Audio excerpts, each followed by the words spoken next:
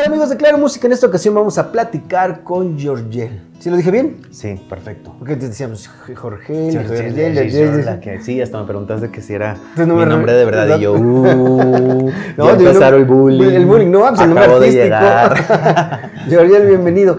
Háblanos de ti, háblanos de tu música, el por qué te dedicas a esto, dónde nació tu gusto musical. Mira, yo eh, soy originario de Monterrey. Eh, tengo ya eh, mucho tiempo desde la universidad, como desde los 17 años me fui para Boston a estudiar música y después de ahí estuve haciendo una carrera como compositor muchos años en Los Ángeles. eh, y como creando esta identidad musical, ¿no? Que ahora estamos presentando, el proyecto de Georgiel. Ajá. Y bueno, con, eh, pues sí, con esta propuesta musical empezamos con Meteorito, que fue nuestro sencillo pasado. Ujú. Y Meteorito trae una propuesta eh, muy romántica, muy eh, amor universal. Eh, eh, el video, eh, para que lo chequen en YouTube, Meteorito, Georgiel, como George, pero con un L al final. Y, este, y después ahí tuvo muy buena aceptación el video, tuvo muy buena aceptación la propuesta y, y bueno, nos aventamos a hacer Colibrí, Ajá. que es algo muy funk, mucho ese classic rock and roll, classic RB, que sentíamos que había mucha necesidad de poner allá afuera y eh, es una producción de Sebastián Cris, que es un súper galardonado. Y hay eh, músicos muy importantes, este, también el video cuenta la historia de una manera muy interesante, Colibrí, en YouTube.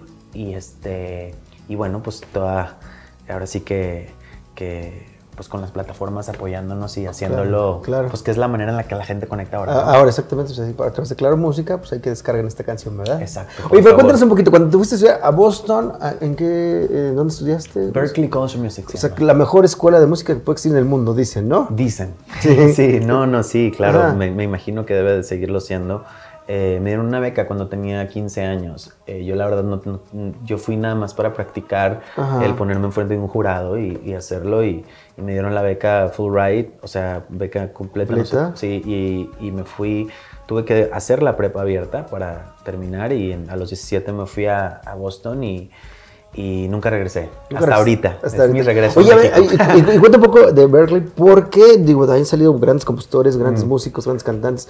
De tu generación, ¿con quién te tocó estar, convivir? No sé. Fíjate que, que- que es muy interesante. Bueno, no sé qué tan conocida sea en, en el- en la, en la cuestión latina, pero más que todo gente en el género americano. Sí. Eh, me tocó estar generaciones muy cercas a la generación, por ejemplo, de John Mayer. De hecho, cuando John Mayer despuntó, este, vino a la escuela como eh, dos años después de Ujú. su que se había graduado y vino a platicar un poco de, de todo lo que había- le había pasado, de, de los dorms, de, de las aventuras que le pasan en la universidad y de una clínica de composición. Ajá. Este, por ahí es Frances Spalding, no sé si estés eh, eh, enterado, ella es una, una chica que toca el bajo y canta impresionante y le- la conocen mucho porque le robó el, el Grammy a Justin Bieber Ok. en, un- en Mejor Artista Pop. Entonces, pues yo, yo ya se estaba parando y se, y- y se paró Esperanza y todo el mundo decía, wow, ¿no? Claro. Este, y sí, la verdad, mucha, bueno, por ahí ha pasado mucha gente eh, que admiro mucho. Ujú. Este, por ahí Natalia Furcade, que es, que es gran ídolo para mí, y, y así eh, Jimena, mucha gente muy, que admiro mucho y que la verdad yo no tenía, eh, no estaba tan consciente de sus carreras en ese entonces, pero que ahora Son es grandes, muy ¿no? bonito. Me encuentro gente, muchos músicos y mucha gente de producción. Me Ujú. encuentro gente de Berkeley por todas partes. Ahorita acabamos de estar en el desierto de los leones grabando lo que viene, Sí. que son con un productor que se llama Juan Pablo Vega. No sé si estás eh, enterado de, de su música, de su carrera. Sí. Eh, uno de los más prolíficos en, eh, ahorita en, en, eh, en la música y, y fuimos, estuvimos con él en el desierto de los leones, en Casa Desierto, dos días, grabamos dos canciones y haz de cuenta que estoy así súper, súper pumped. Claro. Oye, pues de hecho, tú empezaste con el pie derecho. Que te den una beca en la Mm. de la escuela más importante de música, pues digo, eso habla de, de que iniciaste con el pie derecho, ¿no? Bueno, pues se podría decir que sí. Eh, yo creo que también eh, fue Pues yo creo que más que todo, o sea, obviamente la, la educación cuenta mucho, pero como cualquier universidad es como más la experiencia, es como... como Más la calle. Sí, más la calle, más, más lo que pasa fuera de la escuela. La gente con la que te pones a tocar afuera, los gigs que se arman alrededor de la escuela, Mm. las bandas que se hacen, dentro ¿entiendes? Entonces es, eso es yo creo que lo, que lo que hace el crecimiento, que estás tocando con un bajista japonés y, y una violinista china y un, este, un, eh, no sé, una corista ucraniana y una flautista de las Filipinas y es, Wow. es- es algo, es, una ac- aglomeración de, de música muy explosiva y eso yo la verdad es lo que La más valoro. retroalimentación, ¿no? De, Sí, to- sí, de sí. diferentes culturas, de diferentes costumbres. Exacto. Oye, y ahora cuenta un poco. Ahí empezaste a componer, me supongo, desde la escuela o desde antes, no, no sé. Sí, siempre, bueno, ya, había, ya había escrito canciones antes de ir a la escuela eh, y ya en la escuela hice un, un major en, en vocal performance, en songwriting, en composition y, y eso que era como composición y todo. Y, y me metí más en la estructura de la composición y de hecho, eh, bueno, todos los primeros cinco años de, de mi carrera eh, fueron eh, componiendo mucho para otros artistas. sí. Entonces tuve la oportunidad de escribir para gente que ahorita pues, es, es muy grande en el, ¿A, en el a quién mundo has, pop. a- a quién has compuesto? A Gloria, Gloria Trevi. Gloria Trevi. Este, me he juntado a componer con ella y también le he hecho canciones, colaborado con otra gente para hacerle canciones o que he hecho canciones yo. Me he juntado con ella a escribirle a otras personas. Eh, Ah, este, eh, me han grabado eh, gente de- en el mundo pop, desde Anaí, Maite Perrone, Dulce María, Wow. este, hasta gente en el mundo más regional, como Edith Márquez, eh, en este último disco, eh, Chiquis Rivera, eh, y luego hay un movimiento regional en Los Ángeles de Helen Ochoa, Victoria Ortiz, eh, gente de, de allá, de ese género que está tan, tan fuerte en Pero- Estados Unidos. Pero ahora te quieres dedicar a ti. Sí, yo creo que fíjate que, el, que, el, que, el, que esto de la composición es, es bien bonito porque creas una identidad. Mm. Entonces vas creando una identidad de realmente yo era un poco cauteloso con lo que quería, como me quería presentar como artista. Entonces como que estaba detrás de cámaras, componiendo con mucha gente, construyendo una identidad y más importante, aceptando quién realmente soy y, y para poderme realmente desnudar enfrente de un público, ¿no? Entonces, porque eso es lo que hacemos, nos desnudamos, nos subimos y nos encueramos y todos nos ven Sí, todo, sí. ¿no? Este, entonces, eh, me sirvió mucho, me sirvió mucho eh, esta, esto para, para ahora sí que encontrar eh, mi, mi verdadera pasión y mi verdadera identidad en este proyecto como Yoriel. Adelante.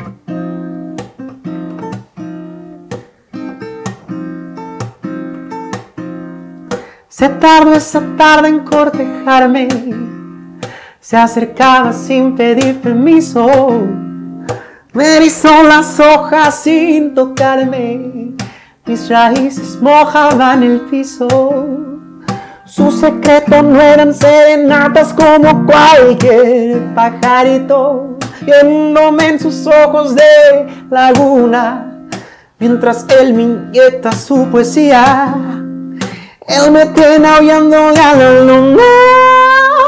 Conocí a los dioses ese día. Él pintó mi rosa realidad en mi más negra fantasía. Oh, ábreme, ábreme los pétalos de prisa. Cómeme, cómeme, por eso soy flor sumisa. Llévame, llévame. Quiero volar contigo, arráncame del piso, llévame colibrí, colibrí.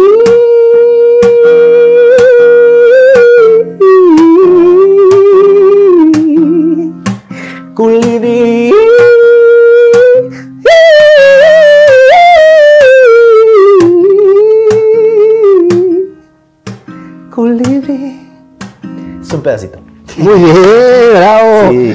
Esa canción, ¿a quién se la compusiste? ¿En qué momento te llegó? Oye, te, te- perdona que te, que te interrumpa. Dime, dime, Este, dime. Te digo esto de, de- de la canción, lo estaba pensando antes de que la tocara, que, Ajá. que realmente, o sea, yo, yo agarré la guitarra más para hacer mis canciones. eh, las cosas que he escrito para más gente, Ajá. mi primer instrumento es el piano. Ah. Entonces estoy más, la guitarra es como que con lo que hago lo mío.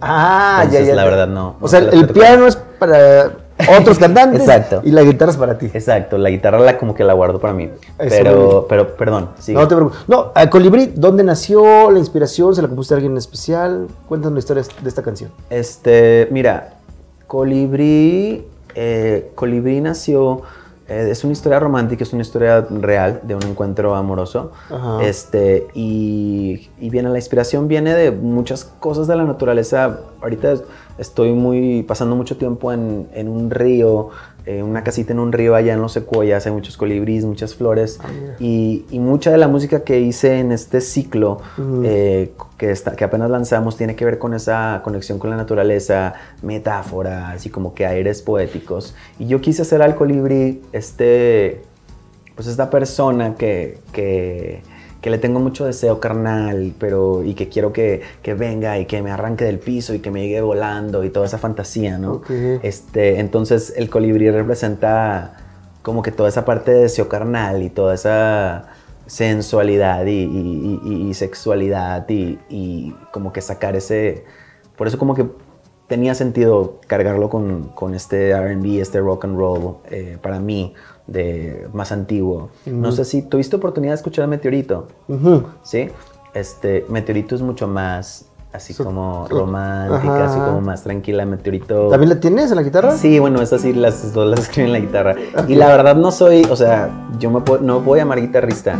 Ahora sí que el, el agarrar la guitarra me, me, me motivó a darme el reto a escribir como artista para mí. Para ti. Entonces, eh, con eso dice, "Ah, son seis y media, ya pronto anochece. Diez pajaritos te vuelan y te despiden, cielo acuarela, destellos dorados. ¿Cómo dudar que seguimos enamorados? Soy una roca cerquita de un lago, soy una estrella viajera volando bajo, soy la mitad de esa bola de fuego. Juntos contamos la historia del universo. Oh, oh,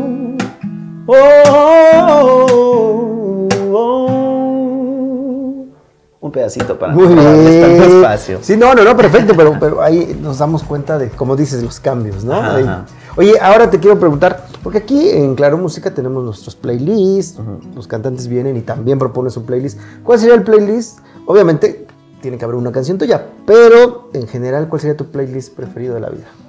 Yo diría, eh, haría un playlist que se llamara eh, Nuevos Cantautores. Ok, nuevos cantantes. Nuevos cantautores y así podríamos poner de, de géneros diferentes, pero ahora sí que gente que, que esté componiendo sus canciones, es como singer-songwriters, ¿no? sí, sí. Y, y no importa cómo terminen producidas, si terminan así guitarrita o terminan en producción más grande, pero que, que sea el sello de, de ahora sí que, que empujar a los nuevos cantautores, a toda esta ola de nuevos cantautores que existen, que, que son tan talentosos. ¿Y, dónde- y quién, quién serían estas cinco canciones? ¿Quién pondrías tú? Ay, bueno. eh, Obviamente, tienes que estar tú en una, pero en los otros cuatro bueno, lugares, ¿quién sería? Es que, mira, me, me gustan muchos cantautores. O sea, yo no sé si con- con- consideraría, por ejemplo, a, a Natalia o a Mon tan nuevas, porque ellas como que ya, Ya ya tienen más una carrera Mm. más consolidada. Pondría más a la gente que está empezando. Este, Pero ya lo estás mencionando, te gusta Mon y te gusta ah, Natalia. sí, me encanta Mon, me encanta ¿Qué Natalia. canción te gusta de Mon y cuál te gusta de Natalia? A ver. Este, mm, Falta Querer, Mon, y, y Natalia. eh, ay, me gustan muchos, muchas de Natalia, pero. Hay una canción que me, que me movió mucho de, de Natalia, uy, de allá de esos tiempos de, de- Cuando de- cuando empezó, Ajá. que creo que se llamaba Raúl, y era una canción de, que habla de una historia de, un, de un novio que terminó siendo, este, no sé si terminó siendo gay o terminó, le gustaba vestirse mujer o algo así, se me hizo muy interesante que abordar, que abordar un tema así, Ajá. ¿no? Y, y- y ese, ese trip social, este, bueno, hasta la raíz, me gusta mucho también, este, la esencia de esa canción. Y, y pondría ahora sí que gente, que bueno, pues toda esta gente que ya, son, ya son grandes, pero los considero yo nuevos. Este, Caloncho me encanta. Ok. Eh, me encanta mm, Juan Pablo Vega. Eh, pondría a Caloncho, pondría a Juan Pablo Vega, pondría a um, este, José Love, no sé si, si está familiarizado. Ok. Eh, y pondría a Silvana Estrada. Esa, es un- esa es una maestra. Es ahorita- ella es así como que ahorita mi top tu top. playlist así de ¿qué hizo Silvana? ¿Qué hizo Silvana? Siempre estoy, siempre estoy buscando. Pues bien, mira, propusiste una playlist pues, diferente a los que luego nos trae, pero estuvo muy bien. Mm. Presentaciones, ¿cuándo sale el disco como, tal como completo? Cuéntame, ¿cómo, cómo, cómo va? Pues mira, el, el disco viene. eh, el disco, acabamos de grabar, como te decía, dos, dos canciones eh, que ya cierran, yo creo, más el, el ciclo del disco. Eh, presentaciones, el, en junio 8 estamos debutando el show en vivo, el show de este proyecto, este, en LA Pride, que es uno de los festivales de orgullo gay más grandes de todo el mundo. Ujú. Si no es que el más grande. Va a haber, eh, es un festival, va a haber, eh, está Megan Trainor, está Years and Years, está es, eh, Cristian Castro, es un elenco súper diverso. Ok. Este, y, y- y pasa en junio 8, ahí vamos a debutar el, el show, ¿no? La, la- la estructura en vivo. Y por ahí la cuestión del disco, eh, yo creo que es cuestión ya de meses. Ya. Eh, ¿Va a ser un EP o va a ser un disco? pues mira, no estoy seguro porque yo creo que ahorita estamos viendo la posibilidad de hacer ocho canciones este, y sacar algo con por lo menos ocho canciones, pero luego las cosas están cambiando. Ayer nos, no puedo decir quién, pero ayer nos encontramos con, con nos presentaron un artista y que, que o sea, surgió una colaboración y ahora va a haber otra canción en el disco, entonces Están todo saliendo está así como cosas. cambiando, sobre todo este viaje ha sido súper productivo en ese aspecto, estamos como que estamos eh, juntándonos con gente eh, Tú de música here. Tú radicas en Los Ángeles. Sí, sí, sí. En, en Los Ángeles eh, es donde, donde pasó la mayoría del tiempo. Dame el tiempo. Oye, también me gustaría platicar. ¿Es verdad que fuiste muy amigo de Juan Gabriel? Sí. Sí. ¿Qué le aprendiste a componer de él? ¿Qué, qué consejos te dio? ¿Tú qué le aprendiste? Mira, eh, corrección. Más que muy buen amigo, me hice muy cercano en muy poco tiempo. Ok. Yo creo que así, porque así como que era mi cuate, ¿no? Mi hermano del alma, no, no. no, no, no. No, me hice muy cercano a él en poco tiempo porque, eh, porque él tiene una relación muy fuerte de muchos años con, con mi esposo Guillermo Ajá. y, y es este Ellos eran muy ellos amigos. eran muy amigos y, y como que nos presentamos y pues como los dos como músicos claro. y él, yo súper fan y él súper quién es él. Sí, sí, sí. Entonces pues tuvimos oportunidad de compartir mucho tiempo y, y especialmente eh, ese día antes de que trascendiera eh, eh, tuvimos la oportunidad de pasar la tarde con él este, y, y pues sí, es, fue una, una relación de mucha música, de mucho eh, mostrarnos eh, las leyendas que lo, lo influenciaron más, de, de manejar mucho, le gusta mucho manejar, Ajá. este, de platicar eh, de experiencias de la vida, de, de conocerlo y, y- y bueno, eh, algún día seguro haré un cover de una canción de él porque Seguro. me gusta mucho. No, pero eh, mi pregunta iba a lo, a lo musicalmente, ¿qué, qué, qué le aprendiste? Porque imagínate estar con ese monstruo. Me imagino que querías preguntarle todo sobre, to- Fíjate sobre que todo estuvo, lo que estuvo ¿no? muy, muy relacionado a la cuestión de Colibrí, porque cuando pasó, cuando lo escribí, pasó eh, casi muy simultáneo a cuando, cuando, cuando trasciende a, a Mejor Vida. Ajá. Y, y fue como, como que me dio el- el- la fuerza de hacer algo que, que, que, que se consideraba a lo mejor no tan dentro de los formatos que, que- que están Que ya conocemos, ¿no? ¿no? Que todo el mundo está gravitando, que están sobreexpuestos. Yo creo que, que Juan Gabriel siempre fue un, Alberto siempre fue un, un- él ponía las cosas de moda. O sea, Sí, él, sí, no, sí. él no era de seguir a nadie. O sea, él todo lo que hacían lo seguía. Entonces, yo creo que para tener la oportunidad de ser auténtico hay que arriesgarse a hacer cosas que estén fuera del molde. Y, y bueno, ¿Y eso fue lo que le aprendí? Sí, una, eso fue una de las cosas que, que- que me dejó muy fuerte y que y yo siento, si ves el video de Colibrí, no sé si lo has visto, Ajá. pero si ves el video de Colibrí, te puedes dar cuenta que, que en la cuestión del... Es como una fiesta y el performance es así como muy... Hasta cierto tipo como flamboyant, como... como pues, pues como un show así con mucho movimiento y, y- y siento que, que, que tiene mucha esa influencia de soltarte en el escenario, hacer todas las locuras que quieras hacer. Ah, muy bien, perfecto. Pues muy bien, muchas gracias, Ariel, por esta plática No, tan no, interesante. Y pues te vemos en tus shows, esperamos tu disco. Porque Sí, estoy seguro que va a ser un disco, ya no va a ser EP, por lo que me comentas. estoy seguro que va a ser un disco, ¿verdad? Sí, sí, sí, no quiero pues invitar a, a- a toda la gente de, de, eh, que siguen a, a Claro, eh, que nos busquen en las plataformas. eh, estamos en todas las plataformas como Georgel Universe, como universo en inglés. Ok. Este, en todo, Facebook, YouTube, todas las que todo el mundo conoce, Instagram, Georgel Universe, para que nos busquen y ahí estamos publicando todo lo que viene. Perfecto. Muchas gracias. Gracias por la oportunidad. Pues bueno, hasta la próxima. Vámonos.